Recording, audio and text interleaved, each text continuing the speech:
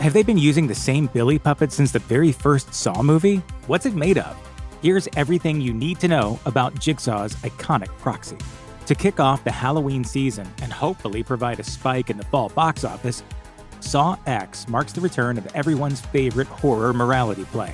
Set just three weeks after the original Saw, the latest franchise entry messes with the timeline a bit to tell a more intimate story that further humanizes the main villain of the series, John Jigsaw Kramer.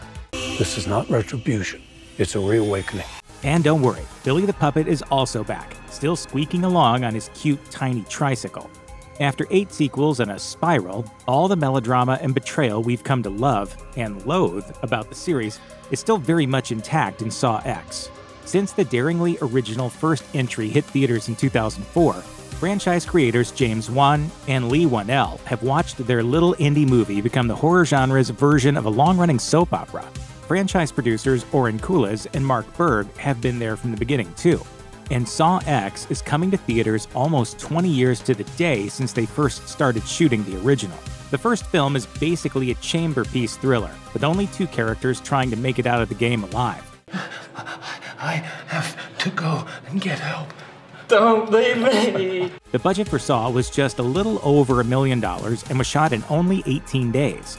It was a true labor of love for Wan and Whannell, and it all started with Jigsaw's proxy puppet that Wan affectionately referred to as Billy when he first designed it two decades ago.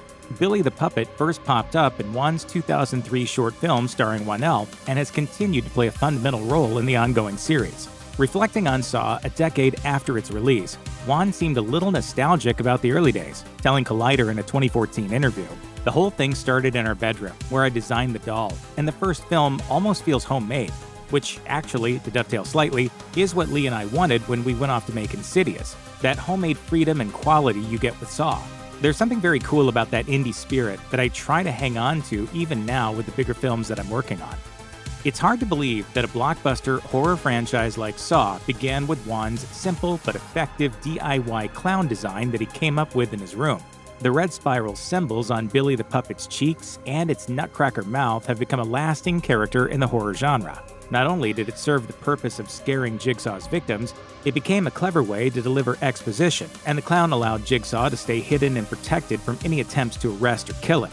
In our own way, we've all grown to love the little guy over the years, as an interesting bit of Saw trivia, if you go back and watch every entry, no one ever says the name Billy in the entire franchise. That doesn't change with Saw X either. In a sense, Billy was Wan's baby, and the name just serves as a term of endearment that cements Wan's personal connection to his original creation. Wan's underseen killer puppet movie, Dead Silence, also features a puppet wearing the same outfit as Jigsaw's marionette minion. Originally, Billy the Puppet's body was crudely made out of paper mache and lumps of clay and black ping pong balls were used for his eyes. The red, beady irises were simply painted on to complete the look. The body was filled out using paper towel rolls that were hidden by Billy's dapper, badly tailored black tuxedo and red bow tie. In the original Saw, the puppeteers used fishing line that wouldn't appear on camera to pull Billy along to hit his mark.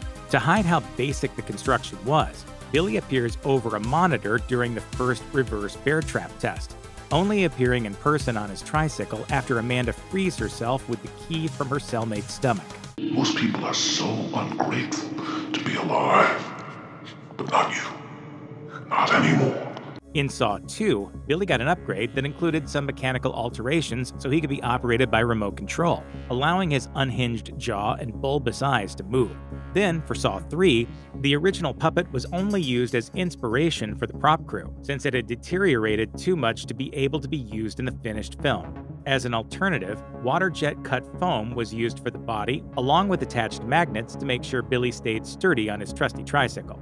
For Saw 4, metal rods were added and stronger magnets were attached, so Billy would be able to move a little more freely on whatever metal surface the production decided to place him on. Onward in the series, Billy has pretty much remained the same, staying consistent to the incredibly effective DIY design from Saw.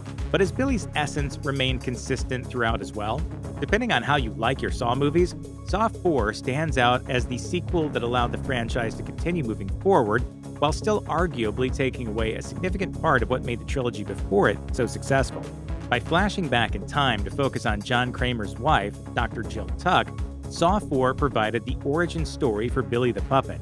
Instead of that adding to the puppet's mystique, the tragic reason for Billy the Puppet's existence immediately makes it a lot less frightening.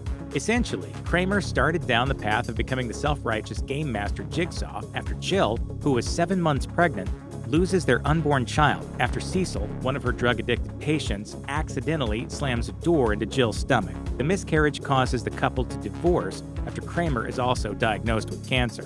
Before the tragedy, Kramer crafted a wooden doll to give to his son, whom the couple had decided to name Gideon. So Billy the Puppet becomes a placeholder for Jigsaw's grief. That's precisely where the Saw series went from a gore filled house of horrors with a conscience to becoming a soap opera disguised as a horror movie. Saw X unequivocally paints John Kramer as the victim and the hero this time around, enacting a quickly planned revenge plot against a shady group of con artists.